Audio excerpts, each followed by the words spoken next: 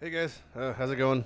I'm Matt Lighty, and uh, today we're gonna be talking a little bit about stash tabs. So stash tabs are, you know, the bank and Path of Exile. You have one in your hideout. So your stash has a bunch of different stuff. This is the tabs you're gonna have if you don't have any special tabs. We're gonna go over all the tabs, what they do in a second. It'll just, uh, it's just a, a blank tab. You put shit in and out of the tab as you'd like. They are a 12 by 12 grid, meaning they have 144 slots. If you do control plus left click, you could bring things into the tab in that fashion. Uh, so if I have a, multiple things, you just control left click them, come in and out of the tab. Alternatively, if you're in a guild and you have a bunch of shit in your tab, because guilds are, tabs are like, I guess, server side or I don't know how they're they're like they're stored in the cloud because multiple people can access them. You can't uh you can't control left click things as much as you'd like. It's kind of shitty. Uh, alternatively, um, you know if you have a tab, you could rearrange the order of the tabs by dragging them. Um, if you have a guild tab, uh, you can't do that because it's shit. Um, also, if I have something in a tab like this is in here and I have this, I could just left click and it replaces it.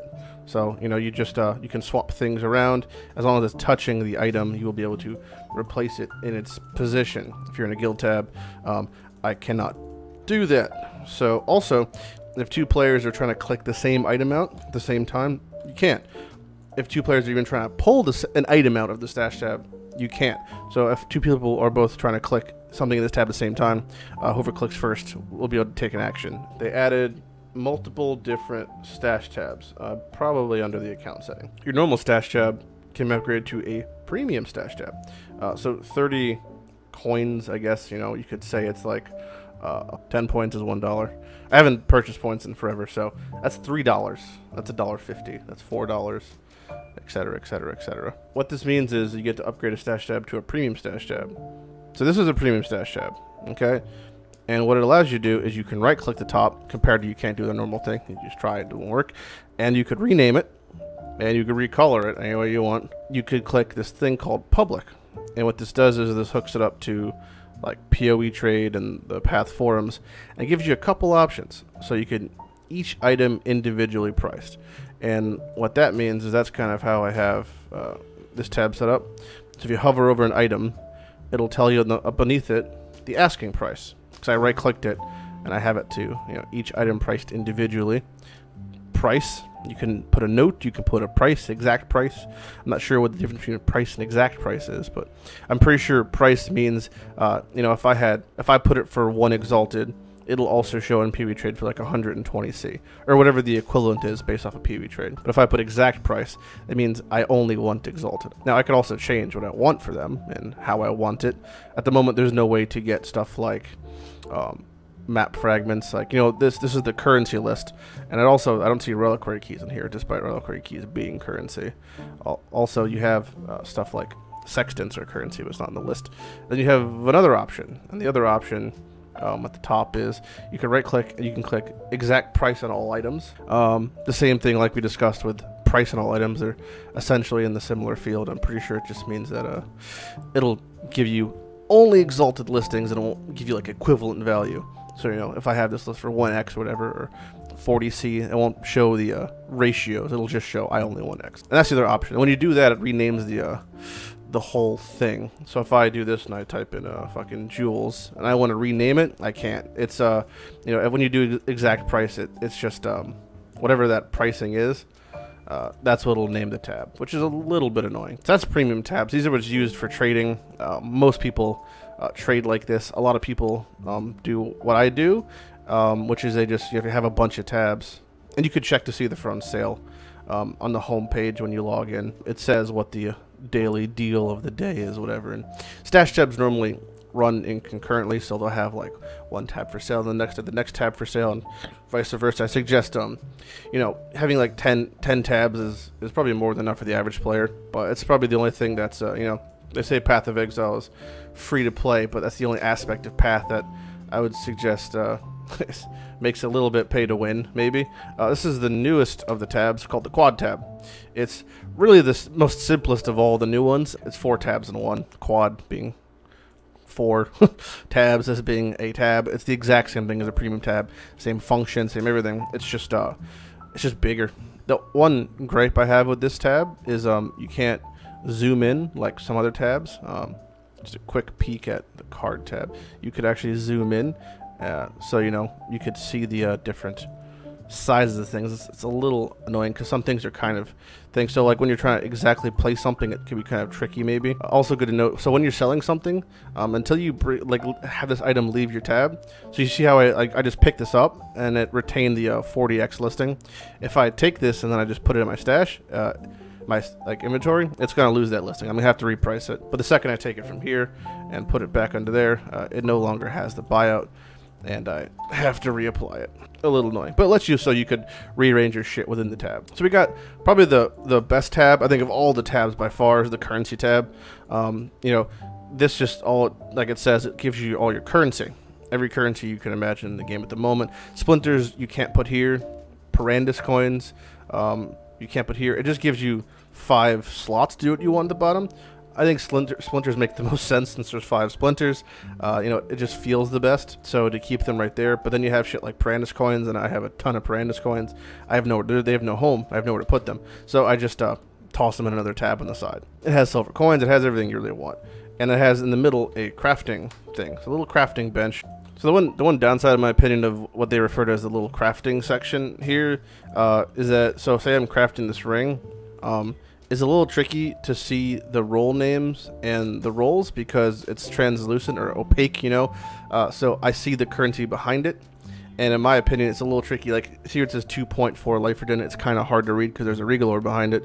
Uh, that's why I like crafting on the bottom row of my tab because the background is black, so it's just easier to see. So I think currency tab is the best investment. They had a bundle when it first came out of all the uh, new tabs, and so we had those a quad currency, and the next one is essence tab. As you can imagine, it holds your essences. It has a slot for uh, remnants of corruption and the four uh, cool ones even, and it has one you know max slots for everything. And then it has three random slots here. I don't really know what these are for. I guess just overflow or something. It's hard to say. Also, the fuck is my bow? Harbinger somewhere. Oh no. I just got the Alzheimer's again. Harb? Could have sworn I had a six link harb. There we go. Alright, so what you could do is, um, so this has a similar crafting tab, kind of like the, uh, you know, this crafting tab here. But um, the same situation. It's kind of hard to read stuff behind it. But again, you're probably only using essences on it, so it's not as big of a deal. But this way you could use, you know, if you're doing a lot of essence crafting, you don't want to put it in inventory, you could put it in the cool essence tab. Maybe it has additional essence RNG. Um, yeah, it doesn't like do a whole lot aside from that. Except there's one cool feature that uh, at least it rolled fizz, that we could do, and that is you have this button called upgrade. If you left click this, it highlights in yellow all the things that can be traded up, and if you just left click them, it just upgrades them, because, you know, three of one lesser essence equals three of a better one, or one of a better one. Upgrade three to one. So you could just go down the line like this, and it and it kind of feels nice, and it looks nice, and it's all nice, and everything's nice. Um, in my opinion, I prefer to keep shriekings. I don't really up, like upgrading shriekings to deafenings. I just don't think it's worth it in almost every scenario. But yeah, you just uh, upgrade them and you can keep clicking. The one thing is um, uh, click an essence in the tab, upgrade them, press escape when done. If you don't click escape, um, you have a hard time uh, clicking like out of the tab kind of. Like if I wanted to move essences, I can't uh, until I click escape. So like I can spam click this shit. I can try to drag it and it won't let me because I didn't click escape yet. So it's a little frustrating. Or you can also, uh, if I click upgrade and click upgrade again, it doesn't turn it off. You'd think it would like clicking a second time would turn on, but it, it's just not how it works. And then the final tab is the card tab, which is also really cool. But most people just turn in their div cards when they have them. But when you're like me and you've been saving divination cards, well, to make a really sh shitty, you know, that's going to cost around a thousand next video at this point. Um, look for that in the future then you could uh, put all your divination cards here. Or if you just like to look at them, you could zoom in and zoom out and uh, look at them as you'd like to enjoy the art of them. You have a couple options at the show menu. You can show all, this shows every divination card, including the ones you're missing. Oh, look at that, I'm only missing one. And then you click full stacks, it shows you every full stack. These are all full stack cards. You click owned, it shows you all the ones that you own. Uh, it means you don't have to necessarily have a full stack of them. You could just own them then unowned, which shows the only cards you're missing. just happens to be one that's heavily price manipulated and fucking standard, and you can't buy any copies of it unless they're like 10x. Uh, so that's the divination card tab, and basically, um, you know, utilizing different tabs in this game pretty good. You can't, you can actually set your uh, card tab to public if you wanted to. You could set your essence tab to public. They are premium tabs in the same right. Uh, same with the currency tab, you can set to public. This will list your currencies on PoE Trade and list your tabs, list your essences because they recently uh, implemented the new on the currency market uh, essences, divination cards, maps, league stones. They have this whole fucking drop down, drop up menu. Look at this shit. It's a fucking, it's a kind of a mess actually. It makes it so you could uh you know list things and find things a little easier. So um you know basically Path of Exile making money is a big combination of utilizing your tabs and utilizing PoE trade in conjunction. You could pull some crazy shit off and you get a head start, at least in leagues. So that about wraps up everything about tabs I can think of. Uh, if I had to suggest anything, um, you know, buying one currency, one essence, one card to have in one quad tab, uh, you should honestly be like good in the game. If you have, if you just got that bundle, you should be okay. The one thing uh, myself and everyone else wishes is there was a way to turn four tabs into one quad tab. Uh, maybe in the future they'll implement that, but I'm not gonna fucking hold my breath. They did say they're making an MTX upgrade, which I guess just counts the tab. Well, you can't list anything um, in the future. And if you ever want more MTX tabs, uh, email GGG or Grinding Gear Games support to say, hey, I want an extra tab, because sometimes you do uh, get your tabs cluttered, and they will give you an extra tab when you log off. So if you want an extra tab for your MTX tab, just shoot them an email and they'll help you out. They're, they're pretty not shit as far as companies go. Um, so yeah, I'm Matt Lighty. Any questions about stash tabs and uh, anything like that, let me know. I'll see you guys uh, later.